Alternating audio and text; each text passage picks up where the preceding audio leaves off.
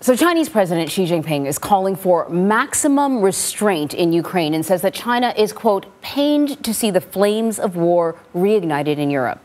It's Xi's strongest statement on the conflict to date. China also announced this week that it is sending nearly $800,000 in aid to Ukraine. So, to discuss China's role in all of this, I want to bring in Jane Perlez. She is the former Beijing bureau chief for the New York Times. Thank you so much for joining us.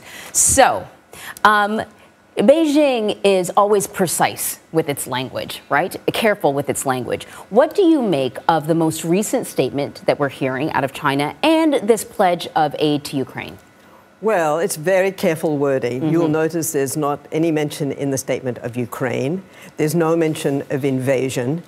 And 800,000 less mm -hmm. than a mm-hmm. million. no, how, how, much did you Let's say? Look, well, how much? It's not very much. It's it, right. It's not very much. Eight hundred thousand dollars. Yeah. It's a bit of a drop. I mean, it's. Yeah. It, China is the second biggest economy in the world, and Congress is discussing $14 billion. Right. So I think this is a fairly pathetic uh, offering by China, actually.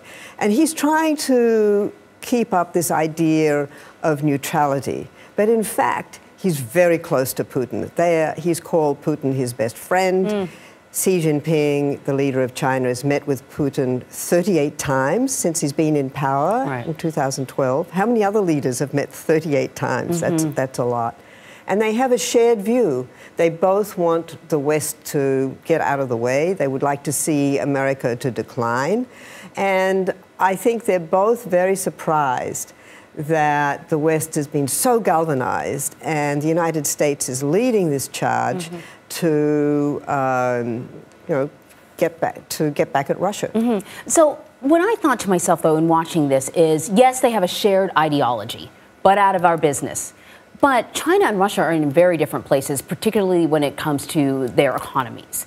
Um, China has spent, you know, the past several decades um, using their money to uh, to make headways in different countries, right? And, and Russia has been, it's a Russian Russia's economy has been sort of contracting. Because they have, I would think, different priorities, how much do they really share here? And could Putin's activities be harmful to China's geopolitical plans? Well, it certainly doesn't suit China to have mm -hmm. uh, instability. They have thrived on st stability yeah. in the world in the last 20 years. Right. Um, but, and they have a huge, Russia is now the junior partner. It used to be reversed. The Soviet Union was the powerful one, and China was poor and isolated. And now it's totally reversed. Mm -hmm. But I do think that China will find a way to strengthen, keep strengthening its internal domestic economy and try and keep itself mm -hmm. um, cordoned off mm -hmm. from the worst from the worst in Europe. They, he's been talking. Xi Jinping's been talking a lot about bringing the economy back into China mm. so that he mm. trades less with the United States. So in some ways, this may suit him. Okay, last question. Uh, you, uh, you got to give me a quick answer. There have been a lot of comparisons between Russia and Ukraine and Taiwan and China. Is that a fair comparison? I don't think so, really. Mm -hmm. And I don't think Xi Jinping is going to make a, a run for tai Taiwan this year or next year. He will at some point, perhaps, but not right now. Mm -hmm. Okay, that was concise. Jane, thank you very much. Thank you.